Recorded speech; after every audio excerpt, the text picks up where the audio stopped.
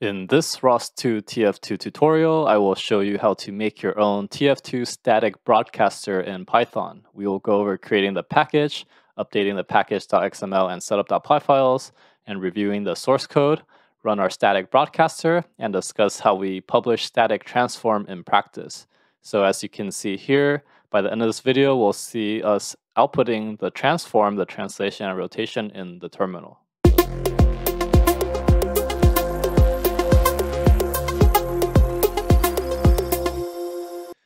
So if you need some Python references, I have some videos on classes inheritance and if name is main, so go check it out. So first off, we want to create the package and review the source code. So we're to go ahead and copy our learning tf2py from this uh, lesson into our source folder. So I have my files here, and this contains everything that we need for this demo. So first off, uh, we created the package using the ROS2 package create command. So um, we already did that step. And then we added the source files to the folders. So we have the static turtle tf2 broadcaster.py. So we're going to go ahead and go over that file. So inside of here, we're going to go inside the source folder. And this is our main function that we're implementing. So this is the static turtle tf2 broadcaster.py that allows us to print out. So if we look at our main function, we have a logger, um, logger get logger here and we see our main functions. So structure of this is we have a quaternion from Euler here, and then we have a static frame publisher, and then inside we have a init make transform, and then our main function here. Okay, so most of the logic here, we do some check, uh, look at how many parameters we're getting, and if we have a world parameter, uh, says your static cannot be named world, and then it'll exit. So it just does some basic check. After it does some basic check, it's going to run the init. It's going to start the static frame publisher here based on your arguments, and then start the node and shut down after you're done. So let's go ahead and jump into the static frame publisher here. So if we take a look at here, this is inherited from a node class here. So we have a niche uh, constructor here called init. It does a super because we're inheriting so we're going to have a name called static turtle TF2 broadcaster. And then inside of here, we're going to be storing that as TF2 static broadcaster. So we have the static transform uh, broadcaster here. So we see that this is comes from the static transform broadcaster. So we're creating an instance of that object. And then here we're going to be calling um, self. We're going to use the self make transform. So this make transform here is a function that we've defined and then we're going to pass in the transform. So here inside make transform, we have a transform stamped. So you see that's from geometry messages.messages. So that's just the type of um, time that we're using. So this time has different attributes. It has a header dot stamp. This is going to get it from get clock now dot to message. It's going to have a frame ID called world, and then it has a child frame ID, which we'll get from transform the first index or actually zero index, the second index because it's um, zero indexed. So here we get x and y, x, y, z components from 2, 3, and 4 index. And then here from the 5, 6, 7, we could get the quaternion from Euler because we're getting these from Euler angles, the RP, uh, RPY.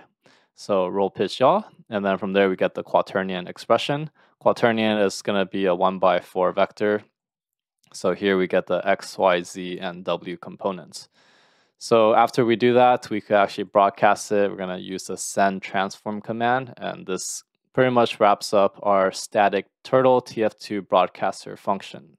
So next up, we want to modify our package.xml and setup.py file. So if we take a look at the things we've added in our package.xml, we've added the geometry messages, the Python 3 NumPy, the RCLPy, the TF2 ROSPy, and the turtle sim. And inside our setup.py, the things we've added is this part here, the static turtle TF2 broadcaster, and the main function inside. So after we made all the changes, we want to build our package. So we want to build our package using the colcon build packages select learning TF2. And you want to make sure you're in the ROS2 workspace. You can run this rosdep install um, to make sure everything is uh, working. So to actually run the static broadcaster, what we want to do is um, source into our setup here and then run ROS2 run learning TF2 Pi static turtle TF2 broadcaster my static turtle and the position, which is in XYZ RX RY RZ format. So we're gonna go ahead and run this. And then in another terminal, we're gonna echo the static transform. So we're gonna go to our workspace and run ROS2 topic echo um, TF static, and you can see it outputs um, the message, which is has the timestamp as well as the frame ID, child frame, uh, frame ID, and the translation and rotation. So to publish static transform in practice, uh, usually you want to use the XYZ and RPRY. So you would use the ROS2 run TF2 ROS uh, static transform publisher, and you could specify using the dash dash X and then your x value dash dash y, the y value, and dash dash z, the z value. And you could specify the roll pitch yaw as well as the frame IDs here. So this is using some of the ROS uh, TF2 ROS tools that comes available if you weren't making your own.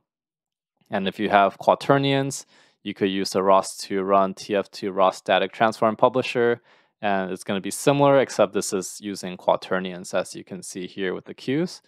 And you could use a launch file as well. So to use a launch file, you would uh, structure like this, where you have um, the TF2 ROS, and we're using the static transform publisher, and you would specify the components as we did up above.